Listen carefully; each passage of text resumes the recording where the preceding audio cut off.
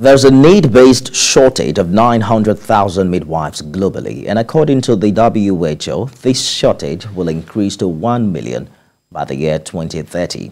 As a result of this, the need to protect, support, and invest in the nursing and midwifery profession is at the fore of discussions at this year's 2022 International Day of Midwife and Nurses Week. Kemi Balogun reports. Nurses and midwives form a chunk of the medical profession and remain at the center of patient care. But despite the critical role they play, there are concerns over the manpower needs of this section of the health workforce. These leaders in the Nursing and Midwifery Association are seeking more investment in both professions in order to reverse the trend of challenges plaguing the health sector and to improve and strengthen the healthcare system. Universal health coverage and sustainable development goal in Nigeria will continue to be a mirage unless the nurses and midwives are made to be recognized and given due recognition and compensation. By this celebration, we call on government to invest on the need to protect, support and invest in nursing profession to strengthen the health system the shortage of midwife made life difficult.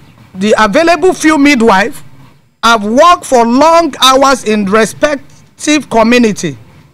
Many working are understaffed, poorly equipped facilities, causing them to risk their life while saving precious lives. Investing in midwives will ensure improved reproductive health and services. 1 million newborns die after birth and 2.5 million are stillbirths due to preventable causes. Motivation is an essential component of performance which is fundamental to driving every human function. Therefore, government and stakeholders, Federal Ministry of Health, Ministry of Labour and Employment, Office of the Head of Service, uh, National Salaries, Income and Wages Commission, and other key players are called to listen to the nurses.